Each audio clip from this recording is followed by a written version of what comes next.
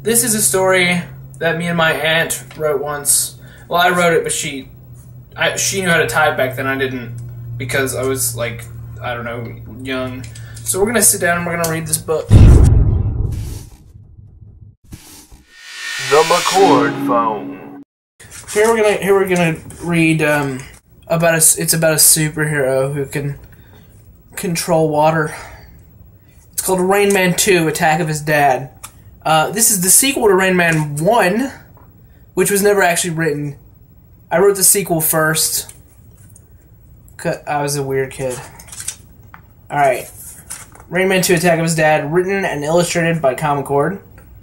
I I wrote it and I drew all these. She typed all this, and then I drew on the on the pages, I guess. Starring Rain Man, Blue Goblin, Hat Man, John, Stretchability Guy, Fireman, Mutant, and Rain Man's dad. How the Rain Man life begins. A mutant who works for Blue Goblin tries to kill Rain Man.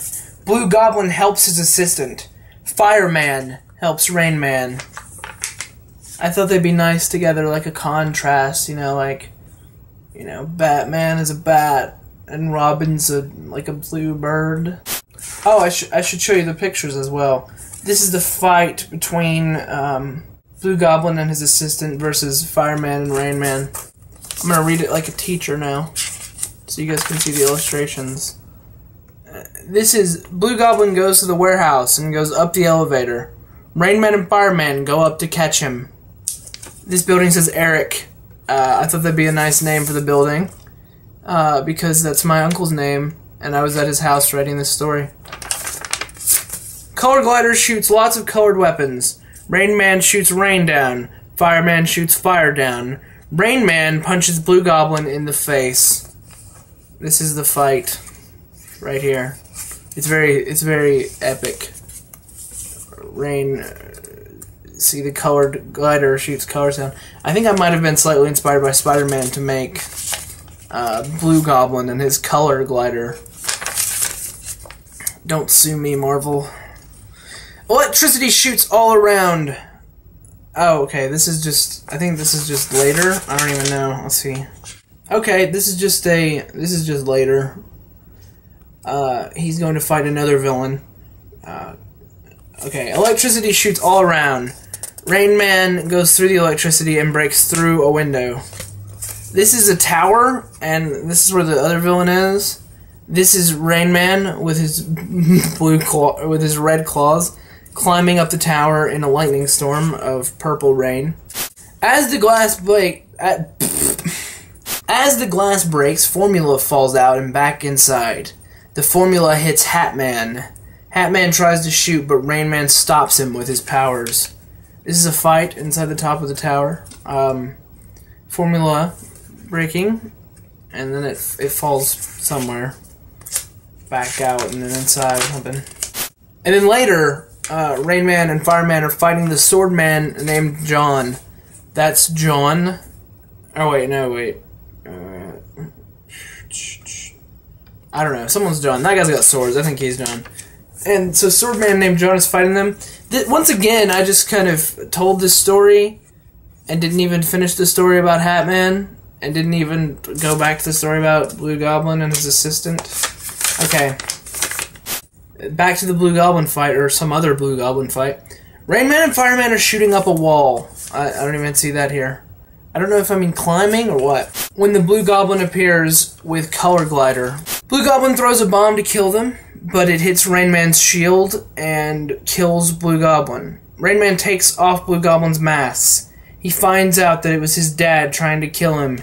And then I've written here because I um, forgot to write it, I guess. I wrote in pencil in superhero mode. So um, Rain Man's dad was trying to kill him in superhero mode. Here's um, that fight as well. Here's a bomb with a smiley face on it, inspired by Hobgoblin from Spider-Man. I'm a, I'm a pretty big Spider-Man fan. Not anymore though. Like I, I guess I was when a kid, when I was a kid, because I still remember stuff. So Rain Man took his dad to the doctor to try and save his life. It says they went to the doctor to save, to have him save his life. I didn't know how to use pronouns. The Doctor is one of Rain Man's arch enemies, Stretchability Guy. And so here's uh, Stretchability Guy fighting Rain Man in the hospital, and then Color Glider is right here for some reason. Rain Man's dad is on the bed, like a gurney. Stretchability Guy is trying to kill Rain Man with electricity. I don't know why he has the power of electricity. He sounds like a Mr. Fantastic.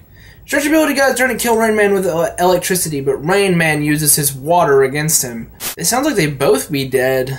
Rain Man's dad throws a bomb. Rain Man's dad is alive because the bomb hits his mask instead. Oh, that's saying that earlier when, when the bomb hit him, it hit his mask instead of his head, so he's, he's totally fine even though a bomb went off. And then it says, to be continued. So, this is my. Uh, I was pretty good at writing, apart from a couple of errors and stuff that didn't make any sense, and the fact that I didn't know how to storytell. Uh, the grammar was pretty good, and I don't know if that can be contributed to the fact that I was really good at grammar in kindergarten, or the fact that my aunt knows how to type better than a seven year old. Might be that. So this is like a 10 year old story now, or probably older. I've had this thing forever, and I'm never gonna get rid of it because I love this story so much. It's like the best. It's it's this this enduring tale of triumph, you know, about this guy who finds out that his dad is trying to kill him, but then he, he still wants to save his dad because he loves him, of course. And so, you know, they go to the hospital and they, they fight a stretchability guy who can shoot electricity out of his hands or some nonsense like the Emperor from Star Wars. In the end, his dad is alive. Ticks over into the next. The last good remnants of. If I was your boyfriend, I'd never let you go. what was the lyrics again? That's about it. I can hear myself. This is hilarious. I'm gonna call this this video to the dentist. For their crimes against humanity. This is Music Theory, Volume 1. Pop music. For the most part, I hate music in the mainstream.